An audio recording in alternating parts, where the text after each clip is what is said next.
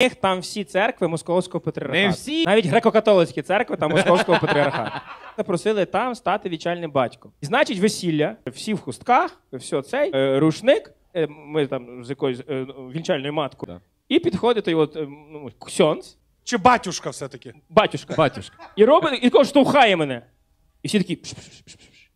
Оп, так от рушничок піднімається, і я маю покласти туди тисячу гривень. Я поклав. А це, до речі, на дверях написано. То в церкву. традиція така. І мені сюди показували, де по, по церкві як маю класти гроші. І я отако курва розклав, просто розрив, коли на шнурках опускалася ікона, і ти маєш поставити на ікону тисячу гривень під рушник. І потім відходиш, і вона взлітає.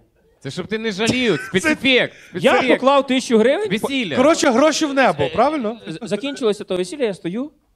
Той батюшка підходить, опускає собі ту ікону, забирає ті тисячу гривень, і ікона йде назад. подякував католикам. Роман Габачило виглядав, знаєш, як е, фінансовий барига. Він розкладав закладки з грошима. Тільки хотів сказати, що ще ікона опускається, і ти ще маєш встигнути до- дострібнути до неї, закласти туди бабки, Ні. поцілувати, перехреститися. Якщо не встиг, ще косар, блядь. Там- І, так, і так ще раз Там, по черзі. там сервіс на рівень твого росту. Вони, вони спеціально повністю менеджери. То, як ти Ці конкурси такі придумають, щоб коли ти прийшов, щоб воно було трошки довше. Це конкурси, бачите? Це конкурси, це не Конкурси. традиції.